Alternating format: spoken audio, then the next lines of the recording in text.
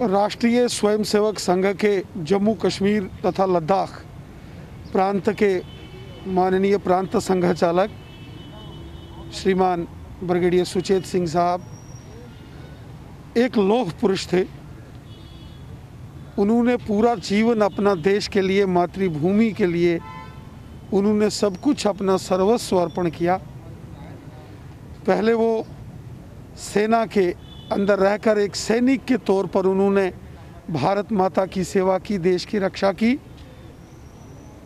उन्होंने पैंसठ और इकहत्तर के पाकिस्तान के साथ हुए जंगों में उन्होंने वो जंग लड़े और जब सेना से रिटायर होकर वापस सामाजिक जीवन में आए तो वो राष्ट्रीय स्वयंसेवक संघ के सक्रिय स्वयंसेवक के नाते से उन्होंने कार्य शुरू किया। और एक स्वयंसेवक के नाते कार्य करते करते वो जम्मू कश्मीर, लद्दाख प्रांत के संघ के माननीय प्रांत संघचालक के नाते से इस दायित्व पर कार्य करते रहे। 2008 में जब जम्मू कश्मीर में श्री अमरनाथ भूमि आंदोलन हुआ, जब श्री अमरनाथ श्राइन बोर्ड की ज़मीन को उस वक़्त की सरकार ने वापस ले लिया और श्राइन बोर्ड को तोड़ दिया था।